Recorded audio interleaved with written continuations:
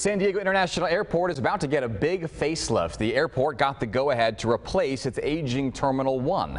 And Fox 5's Liberty Zabala joins us live from the airport tonight with the details on this multi-billion dollar project. Liberty.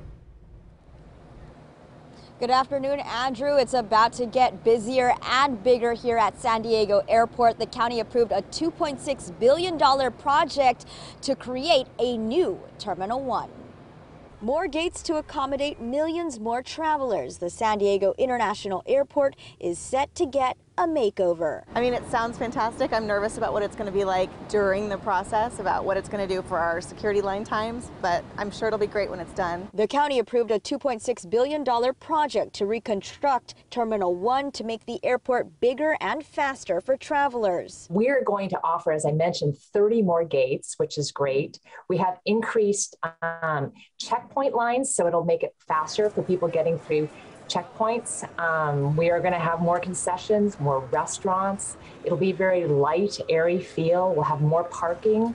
We have actually a um, enhanced and improved roadway to the airport, so it'll it'll make it faster getting to the airport. The project is estimated to create thousands of jobs for local workers. You know, in this time of reco recovery, we're really excited to be able to bring this to San Diego because you're right.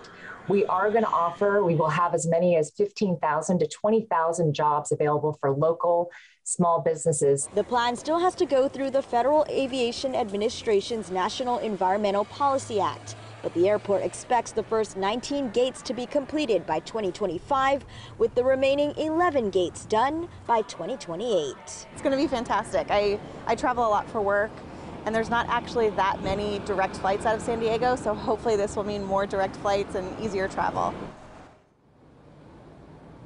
Meanwhile, the total cost of the project is estimated at $3.4 billion, and airport officials say construction could begin as early as next month. For now, live here at San Diego International Airport, Liberty Zabala, Fox 5 News. I could be seeing a lot of construction out there for the next few years to come. Liberty, thank you very much.